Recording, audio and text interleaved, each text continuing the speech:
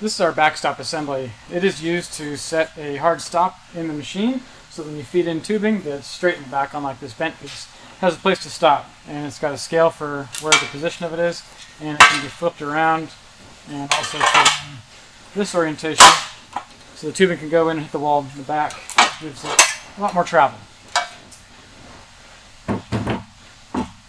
So this one frame fits both the standard and XHD or in the new case the 601, 605, and 625, the heavy duty frame.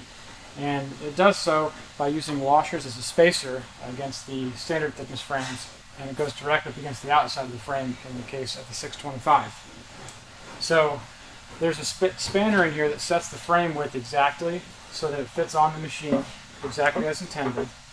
And due to the welding process and the ribbing on this part, sometimes the front edge will actually collapse slightly so if you try to install that edge first, you will likely have difficulty getting it to install. This one's starting to slide on, but if you do the back first, then you can kind of just guide the front on. They're very easy to install that way, using that method. Once you do that, you can easily get the bolts to go through all four locations.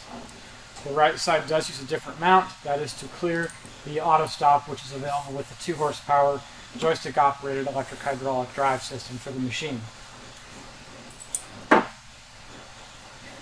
This mounts on the outside of both sides of the frame.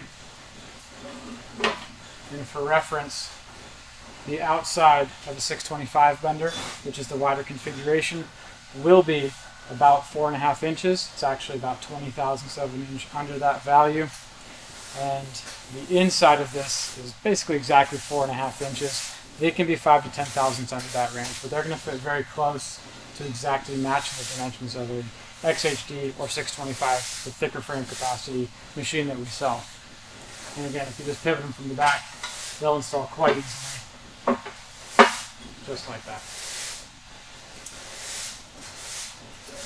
And one last tip, when you're using your backstop assembly, don't forget to make sure that your machine is set to zero or whatever degree that you initially set the backstop position with because as you vary the bend wheel position angularly, you will also vary where the tubing is stopping up against the carriage on your backstop assembly.